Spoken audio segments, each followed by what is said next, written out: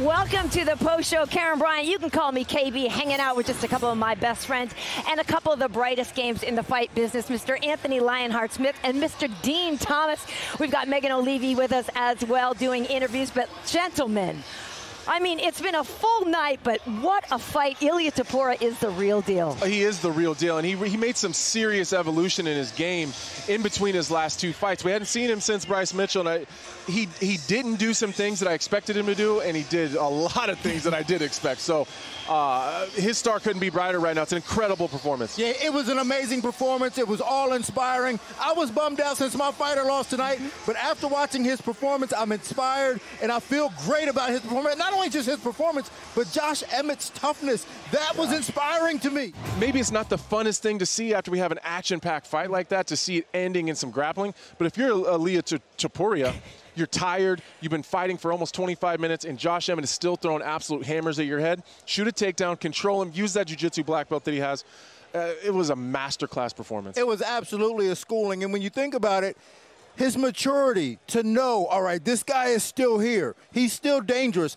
I gotta take I gotta take him down because he's still dangerous. And for such a young fighter to have that maturity, the future is so bright for him.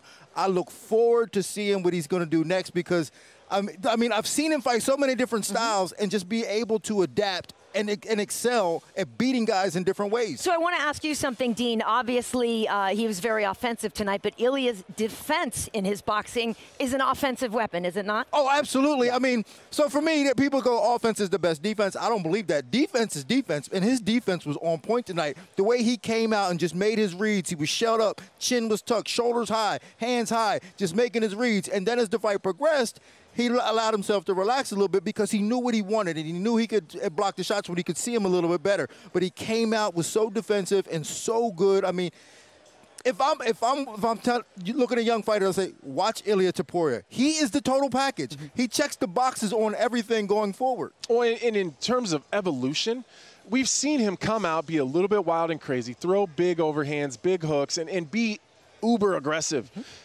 when, when the danger factor of an opponent like Josh Emmett is in front of you, you're forced to adapt and you got to figure it out. I, am really impressed with his his patience, especially as Josh is thrown back. When you have the power of, uh, of Topuria and you've been putting guys down with it and, you, and you've been winning fights with that power, it's it's got to be like a kid in a candy store seeing Josh Emmett throw so big and wide like that and think that maybe you can get in there and counter him.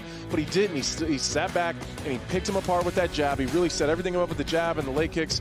Uh, it was it's just a, a, really mature performance. It's tough to do. It's, it's really hard to stay patient like and that. And what, what impressed me about that too was how clean his so punching clean. was. So his clean. punching was no so wasted energy. No wasted energy. It's like his hooks were everything coming out the pocket, everything straight on that needed to be straight that was round. I mean, every 90 degrees, like his angling for his punches were perfect. Well, I, th- I think he owes Josh Emmett a lot, to be honest with you. Josh Emmett forced him to have to level up because he wasn't allowed to get away with the stuff that he maybe he got away with with uh, Bryce Mitchell, who's not a big power puncher like that.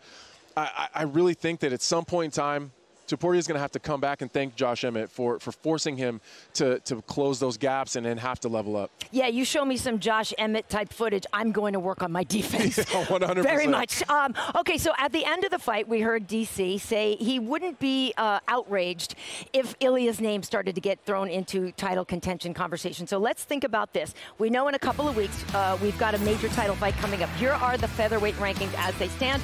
We are going to have a unification title fight between Volkanovski and Yair Rodriguez coming into this fight. Ilia was number nine. He just took out number five, so therefore he could swap places. Guys, do you think it's outrageous to maybe get this guy within range of a title shot, like maybe even stand by? Or I know that's too soon, but you know, is he ready?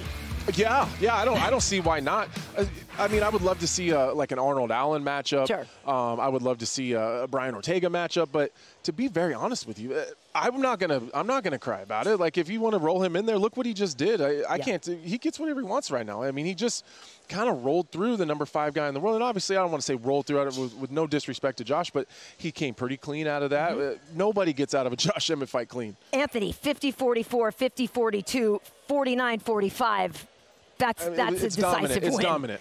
That sounds like a, a, high school basketball game.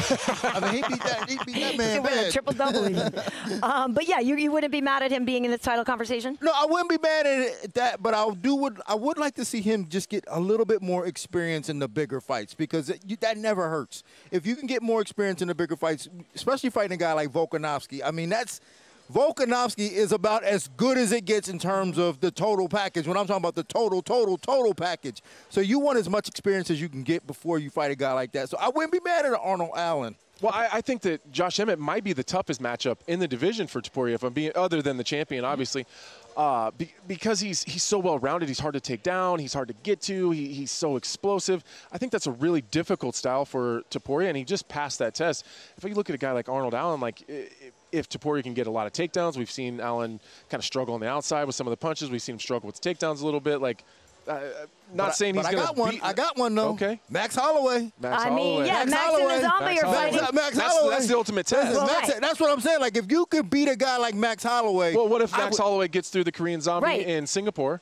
That's what I'm saying. That's a That's, that might that's be not great too far away. Yeah, Topuria. exactly. That's not too far. Yeah. Um, all right, well, look at us making some deals. Look at us doing it. And by the way, on the same night, Anthony will be in action in Singapore as well against Ryan Spann. If you didn't hear that announcement, well. Thanks for watching ESPN on YouTube. For live streaming sports and premium content, subscribe to ESPN Plus.